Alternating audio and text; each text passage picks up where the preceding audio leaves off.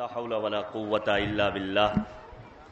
العلي العظيم، أعوذ بالله من الشيطان الرجيم. بسم الله الرحمن الرحيم. الحمد لله الذي جعلنا من الباكين على السيد الشهداء الذي بكت له الأرض والسماء وناحت عليه الوحوش في الصحراء والطيور بين الفضاء.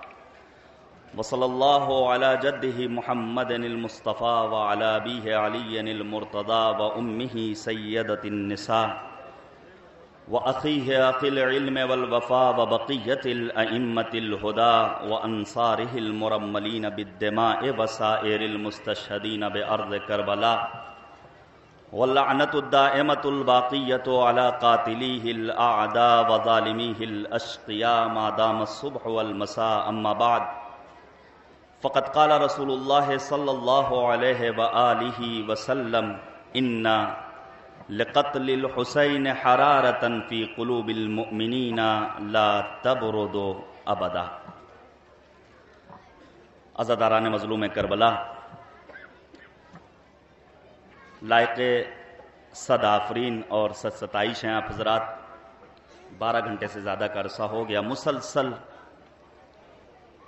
تذکرہ کر رہے ہیں شہدائے کربلا علیہ السلاۃ والسلام کا۔ یاد منائی جا رہی ہے سید الشہداء اور آپ کے باوفا اصحاب و آوان و انصار کی۔ لیکن جہاں ہم خوش قسمت ہیں خوش قسمت ہیں وہ افراد جو ان دنوں سرزمین عاشقان کربلائے معلّہ میں موجود ہیں۔ یا خود کو پہنچا رہے ہیں کربلائے معلّہ۔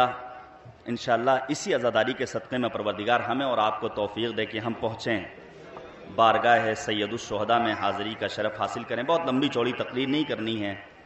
شب میں آپ نے برادر عزیز مولانا حسین باقری صاحب کی مجلس سنی۔ استاد محترم مولانا میسم زیدی صاحب، برادر عزیز مولانا حسین مدی صاحب، ساری باتیں آپ کے پیش نظر ہیں۔ میں ایک دو اہم باتوں کی جانب اشارہ کرنا چاہتا ہوں۔ توجہ کیجیے گا۔ بانی تنظیم، خطیب اعظم علامہ سید غلام عسکری علی اللہ مقامہ، جو محسن قوم و ملت ہیں، ان کا ایک جملہ ہے۔ انہوں نے فرمایا تھا، ہر دل کو عملی ازا خانہ بنائیے، تاکہ مظلوم پر گریہ بھی ہو اور صف نماز بھی قائم ہو سکے۔ خوش قسمت ہے وہ افراد جنہوں نے اول وقت نماز ادا کی۔ کاش اور بڑی تعداد میں مومنین اور ہمارے جوان پہنچتے، کیونکہ سید الشہدہ نے انتظامیہ کو ایک پیغام دینا چاہتا ہوں، شب عاشور۔ مولا امام حسین نے چند چیزوں کو اپنا محبوب قرار دیا تھا۔ امام حسین نے فرمایا، انی احب الصلاح مجھے نماز بہت زیادہ پسند ہے۔ اس کا مطلب یہ ہوا کہ اس بارگاہ میں پہنچنے کے بعد ہم اور آپ یقیناً مالک کی بارگاہ میں کچھ طلب کرتے ہیں تبسل کرتے ہیں، سید الشہدہ سے، اہل بیت اطخار سے شہدائے کربلا اسیران کربلا سے۔ لیکن ہنگام نماز ظہر، جب صحابی امام آ کر کے وقت نماز یاد دلاتے ہیں، کیا مولا کو نہیں پتا تھا؟ نہیں، مولا نے ایک پیغام دینا چاہا۔ اس وقت امام حسین نے کہا تھا، جعلک اللہ من المسلین قد ذکرت الصلاح تم نے ہمیں نماز یاد دلائی ہے، اللہ تمہیں نماز گزاروں میں شمار کرے۔ ہمیں اپنے کردار کو ایسا بنانا ہوگا کہ خود امام کی دعا ہمارے شامل حال ہو جائے۔ دوسری چیز جسے سید الشہدہ نے اپنا محبوب قرار دیا تھا وہ تھا تلاوت قرآن قرآن کی تلاوت کرنا۔ اور تیسری چیز سید الشہدہ نے فرمایا تھا، مجھے محبوب ہے کہ میں مالک کی بارگاہ میں دعا اور استغفار ایک بڑی تعداد میں کرتا رہوں۔ مالک کی بارگاہ میں طلب کرتا رہوں، دعا، راز و نیاز اور مناجات۔ ہمیں مالک سے کچھ نہ کچھ مانگنا ہے تو سید الشہدہ کی سیرت کا مطالعہ کرنا ہوگا اور نقوش زندگانی سید الشہدہ کو عملی جامہ پہنانا ہوگا۔ آج دنیا میں اگر آپ انسانیت دیکھ رہے ہیں، اگر آج کائنات میں کہیں وفاداری ہے، کہیں صداقت ہے، کہیں محبت ہے، کہیں الفت ہے، کہیں اخوت و ہمدردی اور ہمدلی ہے، یہ اتنی بڑی تعداد میں عالم اسلام کے اتنے بڑے ممالک پائے جاتے ہیں، پچاس سے زیادہ تعداد۔ لیکن تنہا ایک مکتب کے پیروکار، مکتب عاشورائی کے چاہنے والے سید الشہدہ کا ماتم کرنے والے ہیں جنہوں نے یمن میں مظلوم بچوں کا ساتھ دیا۔ آج بھی ہم صدائے احتجاج بلند کرتے ہیں۔ جہاں دنیا میں ظلم ہوگا، جہاں دنیا میں بربریت ہوگی، جہاں دنیا میں ظلم ہوگا، تشدد ہوگا، وہاں حسین کا چاہنے والا ضرور سدائے احتجاج بلند کرے گا۔ سارے ممالک خاموش، لیکن حسین کے پیروکار آج بھی سدائے احتجاج بلند کرنا اپنا فرض سمجھتے ہیں۔ توجہ کیجیے گا۔ یہ ہمدردی، یہ حمدلی صدقہ ہے شہادت سید الشہدہ حضرت امام حسین علیہ السلاۃ والسلام کا۔ میں ایک بات بیان کر کے، چند جملے مسائب بیان کر کے گفتگو تمام کر رہا ہوں۔ توجہ کیجیے گا۔ فرزند انقلاب، استاد شہید بزرگوار متحری علیہ الرحمہ۔ پڑھیں ہمارے جوان ان کی کتابوں کو، وقت نکالیں۔ شہید متحری نے ایک تمثیل بیان کی ہے۔ پروین اعتصامی، ایک خاتون، ایک شاعرہ فارسی زبان کی۔ پروین اعتصامی نے ایک نظم کہی، اس تمثیل کے نتیجے میں نصر کی زبانی شہید متحری نے بیان کیا، کائنات میں اگر آج اخوت ہے، ہمدردی ہے، ہمدلی ہے، محبت ہے، صداقت ہے، وفاداری ہے، تو یہ صدقہ ہے قربانی سید الشہدہ کا۔ پروین احتسامی نے کیا بیان کیا؟ ایک ہنرمند، ایک فنکار، ایک آرٹسٹ، ایک کلاکار جب کسی فن و ہنر کو بروئے کار لاتا ہے تو وہ چاہتا ہے اسے داد و تحسین سے نوازا جائے۔ توجہ کیجیے گا۔ آج ہمارے یہاں شعرا جب محفلوں میں اپنے اشعار پیش کرتے ہیں تو چاہتے ہیں نعرے لگیں۔ خطبہ ذاکرین جب ممبر پر آتے ہیں، اگر کوئی اچھا جملہ ہوتا ہے تو وہ چاہتے ہیں کہ ان کے، ان کو داد و تحسین سے نوازا جائے۔ یعنی پروردگار نے انسان کے وجود میں ایک فطرت رکھی ہے کہ انسان اپنے فن و ہنر کے نتیجے میں دوسروں سے واہ واہ لوٹے۔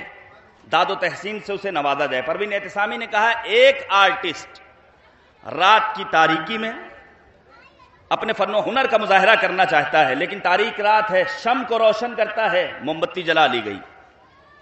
سوئی دھاگے کو لیا، ایک پارچا ہاتھ میں لیا، گل بوٹے بنانے شروع کیے اس نقاش نے، اس فنکار نے، اس آرٹسٹ نے، اس ہنرمند نے۔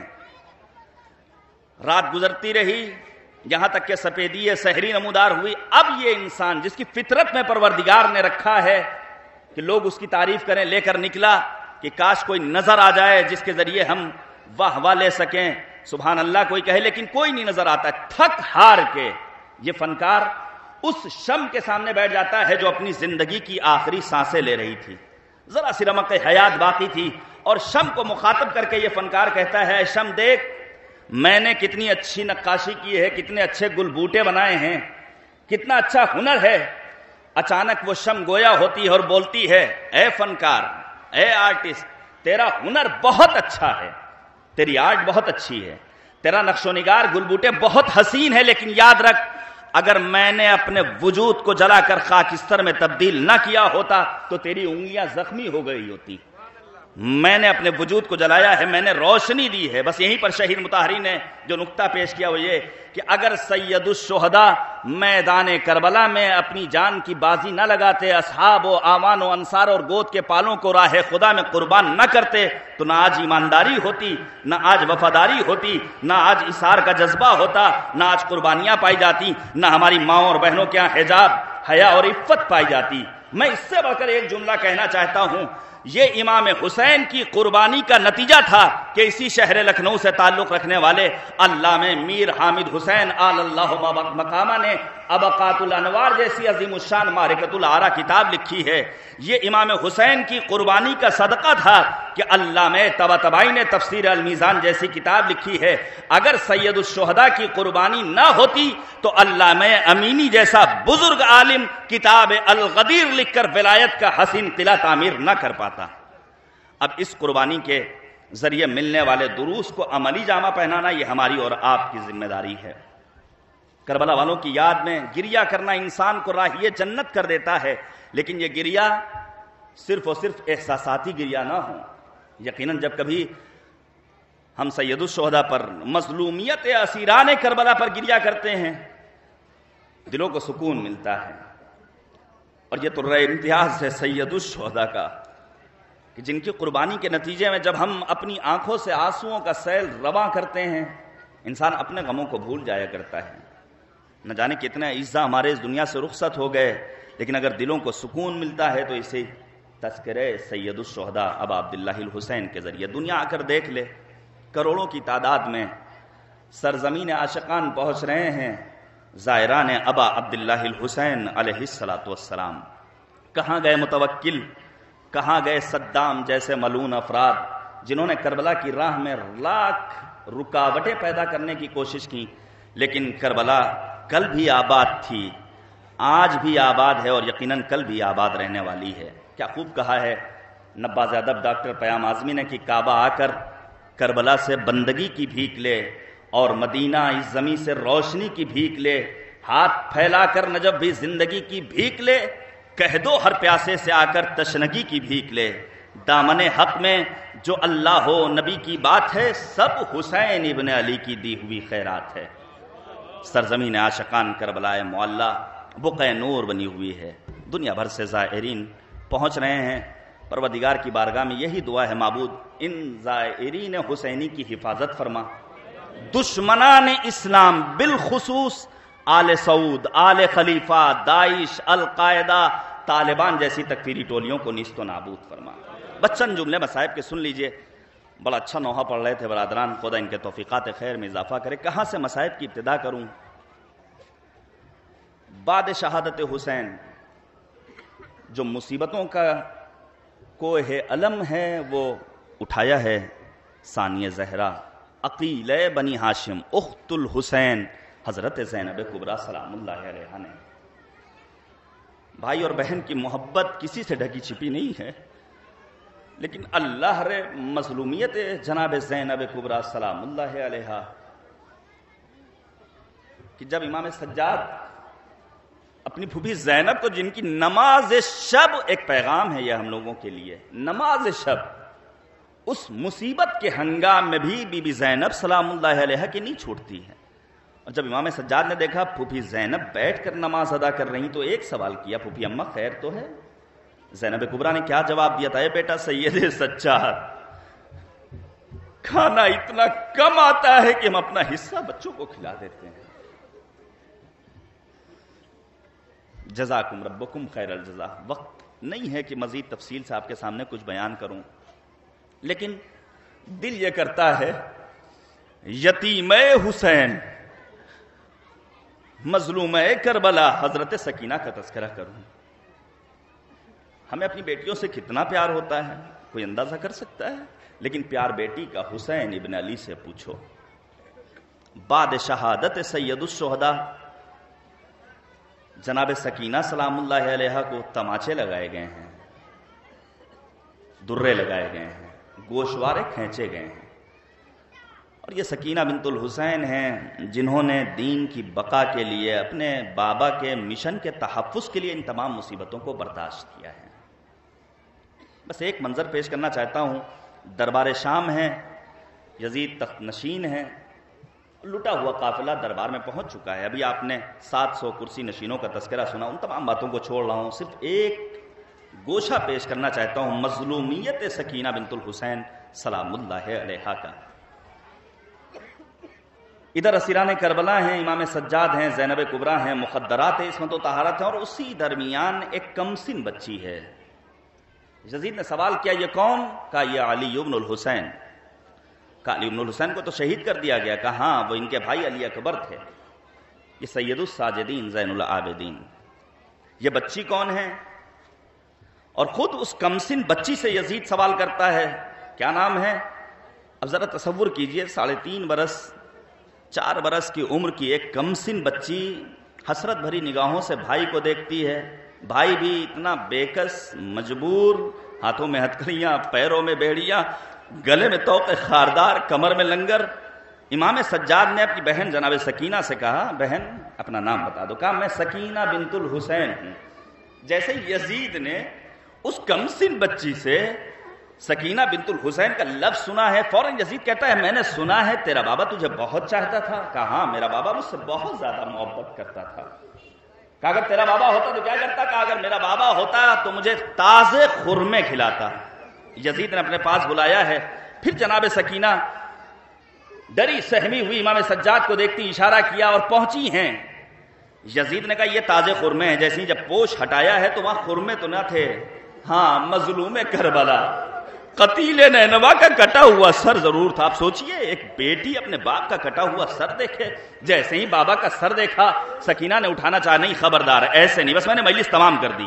میں نے اپنی گفتگو تمام کر دی۔ کہا، ایسے نہیں، میں نے سنا ہے، تم اہل بیت کے گھرانے والوں کو اپنی محبت پر بڑا ناز ہے۔ اگر اتنی ہی محبت ہے تو اس سر سے مطالبہ کرو کہ یہ سر اٹھ کر تمہاری آغوش میں آ جائے۔ اس کمسن یتیم حسین نے جلے ہوئے دامن کو اٹھایا ہے اور آواز دی ہے، اے بابا، آج ہماری محبت کا امتحان لیا جا رہا ہے۔ سر مظلوم کربلا تش سے بلند ہوا۔ آغوش سکینہ میں مظلوم کربلا کا سر آیا۔ کوہرام بچا۔ اچانک فضا میں آواز گونجی، اے سید سجاد، سکینہ سے حسین کا سر لے لو۔ زینب آگے بڑھی اے بیٹا سید سجاد، یہاں تمہارے بابا کا روزہ بنے گا۔ وَسَيَعْلَمُ الَّذِينَ ظَلَمُوا اَيَّ مُنْقَلَبٍ يَنْقَلِبُونَ إِنَّ لِلَّهِ وَإِنَّ إِلَيْهِ رَاجِعُونَ۔ معبود، ہماری اس عبادت کو قبول فرما۔ اے کریم پروردگار، اس پروگرام میں مومنین سرفراز گنج اور وہ تمام انجمنیں جنہوں نے دور دراز کا سفر کیا ہے، ان سب کی حفاظت فرما۔ معبود، یہ ہماری زندگی کا آخری محرم نہ ہو جب تک زندہ رہیں۔ دامان قرآن و اہل بیت سے ہماری وابستگی رہے، کربلا فہمی کا شعور ہمیں عطا کر دے، اسلامی انقلاب کی حفاظت فرما، مراج اعظام بالخصوص رہبر فرزانہ فرزند زہرا آیت اللہ العظمہ خامنئی محافظ کربلا مرجع علی قدر آیت اللہ العظمہ سیستانی سید مقاومت سید حسن نصر اللہ کی حفاظت فرما، دشمنان اسلام بالخصوص وہابی اور تکفیری ٹولیوں کو نیست و نابود فرما، Bahrain, Iraq Afghanistan, Libya, Saudi Arab میں موجود مؤمنین کی حفاظت فرما۔ ہمیں کربلا کی زیارت سے مشرف فرما۔ فرزند زہرا وارث کربلا حضرت حجت کے ظہور میں تعجیل فرما۔ اور ہم سب کو امام کے آوان و انصار میں شمار فرما، ماتم حسین۔